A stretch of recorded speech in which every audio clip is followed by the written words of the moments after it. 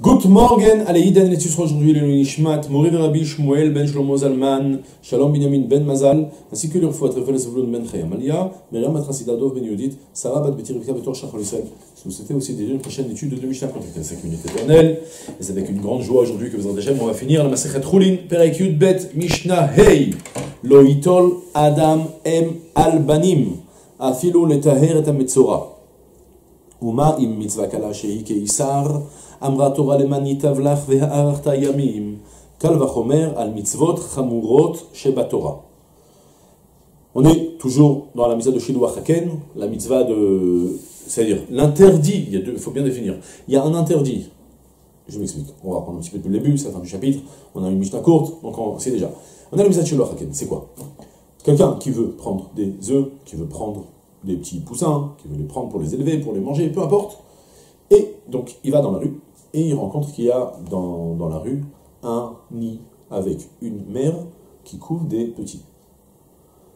Alors il y a tout d'abord un interdit de prendre la mère toute seule, ou un interdit de prendre la mère avec les œufs, interdit. S'il veut prendre, il pourra que dans cette situation, il ne pourra que prendre les, euh, que prendre les œufs ou les petits poussins, et la mère devra la renvoyer. D'accord? C'est la mise de Shiloah qu'elle renvoyer le, la mère, en fait, renvoyer celle qui est en train de, euh, de couver les œufs.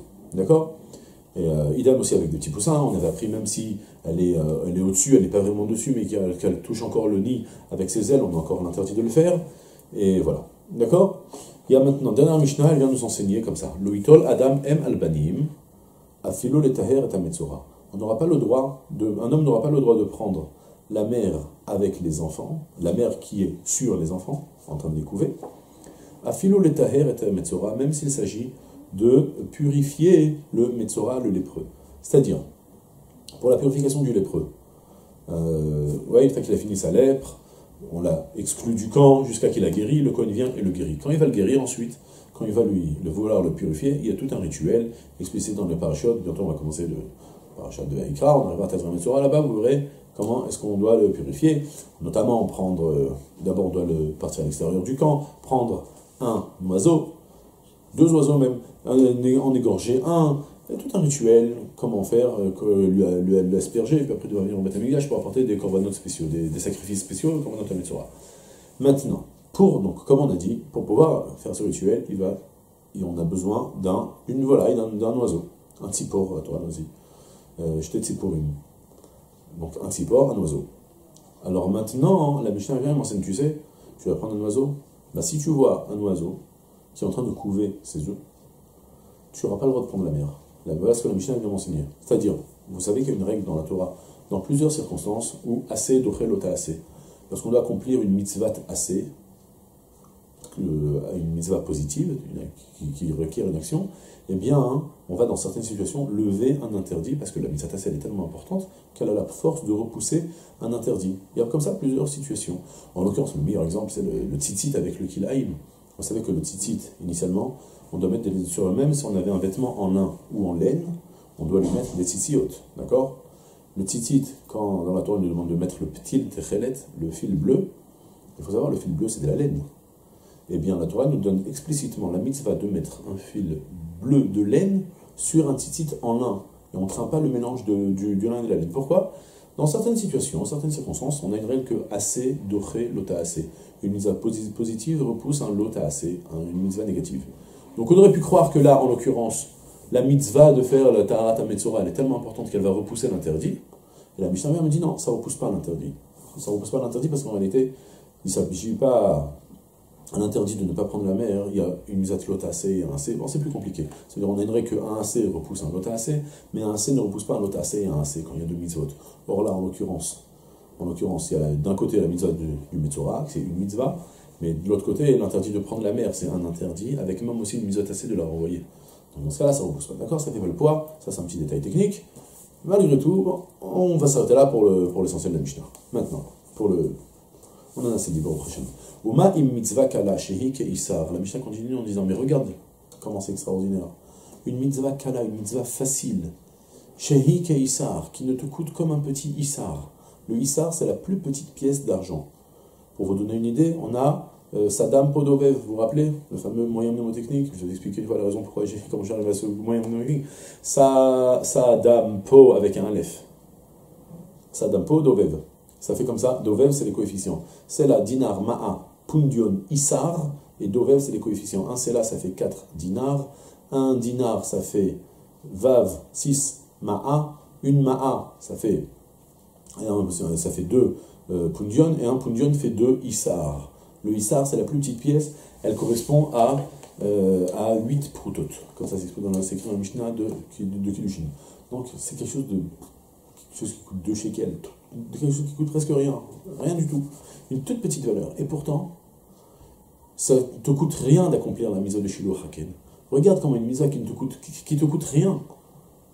Et Amra Torah, et la Torah t'a dit, lorsque tu le feras, hein, les man yitavlach yamim afin qu'Hachem te fasse du bien et te rallonge tes jours.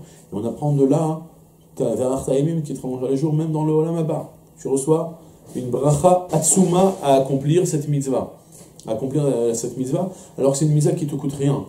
Kalvachomer al mitzvot ramurot shebatora. Combien à plus forte raison pour les mitzvot qui sont compliqués, qui te demandent de l'effort, qui te demandent de l'argent, qui te demandent de l'investissement de temps? Combien à plus forte raison? Tu auras du mérite lorsque tu les accompliras.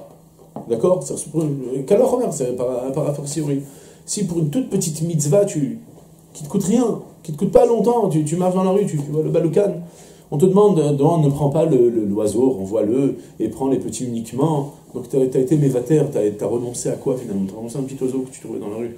C'est pas rien, rien de grand. Et la Torah t'a donné un sra, un mérite tellement grand, à plus raison lorsque tu feras une mitzvah qui sera compliquée, en l'occurrence, comme bah, Baruch Hashem, finir la Masechet Roulin, tous les jours s'asseoir et écouter le, cours de Mishnah de Roulin et avancer, ça demande du temps, c'est pas toujours facile, il y a des situations, vous savez, des fois, Baruch Hashem, j'ai fait des, j'ai tourné des cours après que ma femme elle est accouchée, après que toutes sortes d'incidents, des fois avec des enfants à l'hôpital et des fois de trucs. Et Baruch Hashem, ça a plus forte raison qu'on reçoit du mérite comme ça. Pour moi, pour vous aussi, quand je suis sûr que, écoutez, c'est aussi difficile que, c'est même peut-être plus difficile que de préparer. En tout cas, à peu forte raison qu'Hachem nous donne, il nous donne du mérite, il nous donne un, un mérite incommensurable au Olam Abba, Bezrat Hashem et même Olam Azé. Et on a fini ainsi la Masechet Rolin, Slik Masechet Rolin, Adonalach Masechet Rolin, Adonalach Masechet Rolin, Adonalach Masechet Rolin, Blineder Bezrat Hashem. On va tout de suite faire le Sioum, avant de faire le Sioum, on ne jamais sur une fin. On commence d'abord la suite, Alokar Ubar Chamoro Shel Nochri. On va commencer maintenant Masechet Bchorot, la Masechet Bchorot, qui va parler des, euh, des aînés, la mise à particulière des nouveau-nés, premiers-nés des animaux et des humains. Et avec chacun, qu'est-ce qu'on devra lui faire? C'est ça ce qu'on apprendra dans la Maseret Porot. On va se voir avec un petit l'Echaim tout d'abord, avec après, j'ai un petit appel, un petit, si déjà je vous donner un petit, un petit mérite extraordinaire aussi, Bezrat Hashem, ceux qui voudront prendre part à ça. D'abord, l'Echaim, Baruch Ata Adonai, Eloheinu melech haolam, shakol miyamid vavo. Et qu'on ait le mérite ensemble, Bezrat Hashem, de finir encore tout le, tout le Seder Kochim, et après de finir tout le chasse Mishnayot. Petit à petit, on devient moins petit, on continue à avancer. Bon, on a fini avec les grosses Maserhet de Kochim. Maintenant, ça va être des Maserhet beaucoup plus faciles.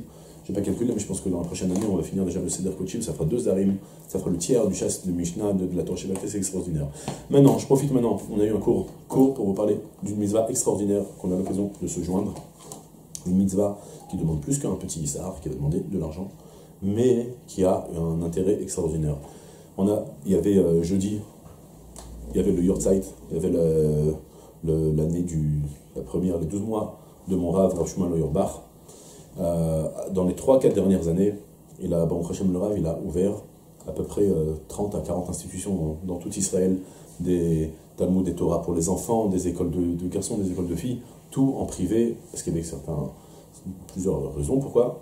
Donc en privé, vous imaginez bien, en privé, une école privée comme en France, c'est pas exactement privé, c'est euh, quasiment, quasiment tout privé quoi. Il reste encore beaucoup de frais sur le compte euh, des parents, de la direction.